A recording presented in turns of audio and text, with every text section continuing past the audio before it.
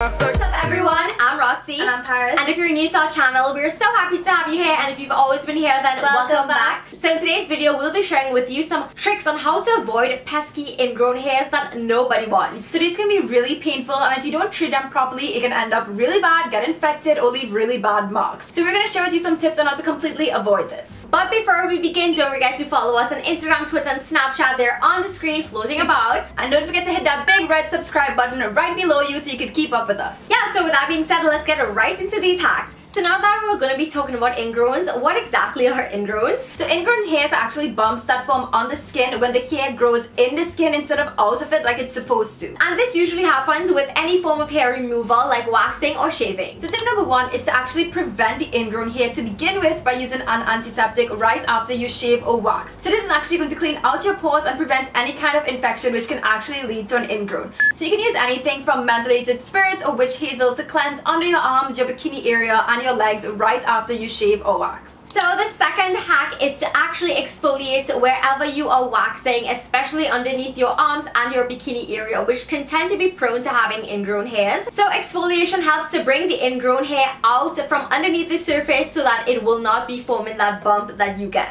and it will also prevent new ones from forming. So a really easy scrub that you can use is actually a baking soda and water type scrub. You just basically add some baking soda and water to form a paste and you can use that to exfoliate any areas that you're going to be removing hair from. So you apply the scrub to the area, rub it into your skin, leave it for about 5 to 8 minutes and then rinse it off. Tip number three is to make sure that you moisturize the areas that you are exfoliating and waxing because if you don't, your skin is going to get really really dry and this is going to worsen the condition of your ingrowns and be harder for you to get them out. So make sure that you use any kind of aloe vera, vitamin E, shea butter, anything like that right after you wax and exfoliate. So another tip is especially if you are shaving, you do not want to be using rusty old shavers and blades and anything like that because those can cause infections, they can tear skin and just make the ingrown situation a lot worse than it needs to be.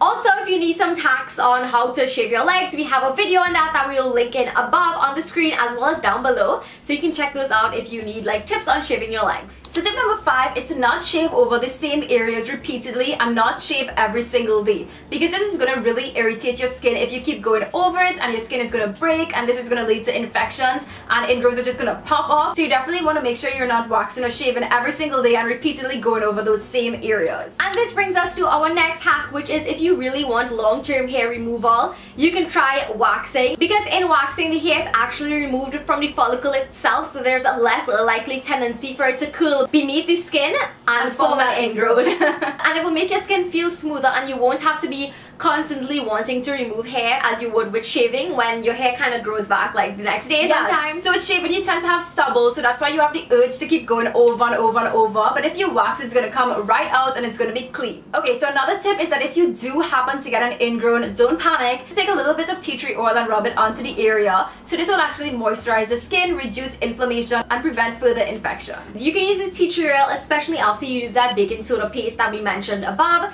This is a great like antiseptic as well. So if you do have a stubborn ingrown, massaging tea tree oil into the area will loosen the hair without actually damaging or breaking your skin. So tip number 8 is to use a hot compress if you do have an ingrown hair and this will help to soothe any area that has irritation from an ingrown hair and it will also reduce swelling. And also the warm compress actually helps to get that ingrown hair like towards the surface more so you can eventually get rid of the ingrown. So another thing you want to do if you do have an ingrown is to use aspirin because the acid in aspirin can clean the skin and really help that affected area. So what you want to do is crush 2 to 3 aspirin pills add some water, make it into a paste and rub it on the area so the acid will actually help to prevent infection. The last tip is to avoid clothes that chafe especially after you do any kind of yeah. hair removal process because chafing irritates the skin and that can eventually lead to an ingrown. So the best thing to do after you have your hair removed in any form of fashion definitely just go ahead and wear something that is loose fitting. That won't cause any damage to your newly waxed or shaved skin. So that is a wrap for this video on how to get rid of or prevent ingrown hairs. We hope that you enjoyed it and if you did definitely give it a huge thumbs up for more videos like these. And don't forget to hit that subscribe button so you won't miss any of our updates. Also don't forget to check out our last video. We know that you'll enjoy it. So thank you so much for watching and we'll see you in our next video. Bye! Mwah.